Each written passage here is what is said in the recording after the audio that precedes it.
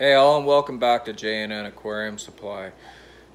We had a lot of changes this weekend. We sold a lot of fish and we got some new fish, but uh, the auction was a great success, but the fish room looks much different.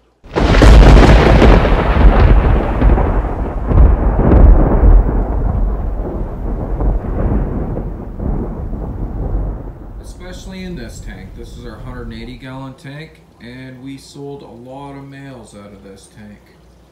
Um, there is a male, clearly, uh, Venustus, but we sold the uh, dominant male in the tank, and he's just starting to color up now.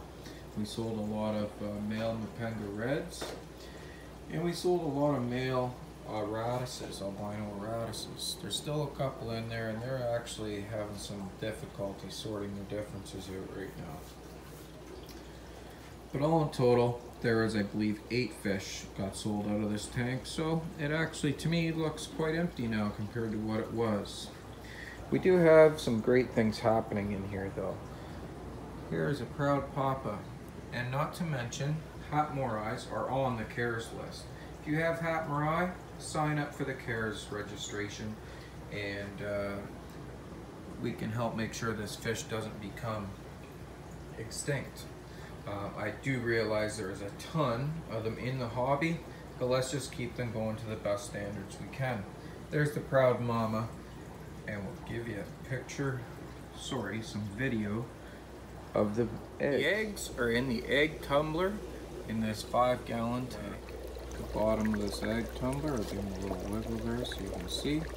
And I just give them enough air that it just gently bounces them uh, there's about 25 eggs in there, and that's pretty good for her first time having a mouthful of eggs. They will look much different in another week. Baby geos are growing just great. They actually look like fish now. They look like little geos. So we'll continue to grow them. And one thing we've started doing because uh, I'm not happy with the results I'm getting off commercial fish for these fry. So the baby brine shrimp back up and uh, this will offer them great nutrition. Another reason we fired the baby brine shrimp back up is we've done some rearranging. This 65 tall is no longer a multifasciatus tank. We already owned two male Paracyp Nigrinis and at the auction we acquired five more. So we're hoping there's some females in this batch.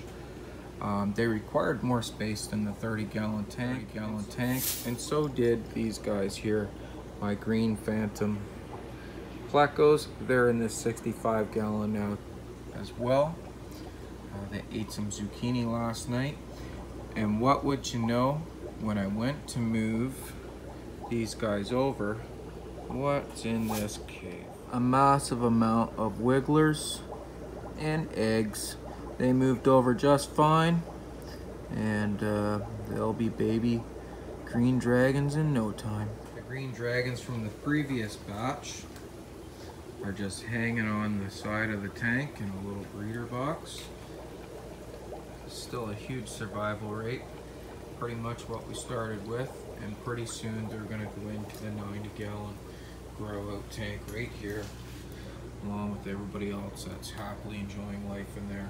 There's a couple hundred fish in there now. Our zucchinis have flowers on them, so that's awesome. We're actually gonna get a zucchini off of our zucchini plants and lots more flowers coming. It's coming along just great. Hopefully we'll be able to feed our fish with their own fish poo soon. Our multifasciatus colony has moved into the 35 gallon tank. They look like they're adjusting well.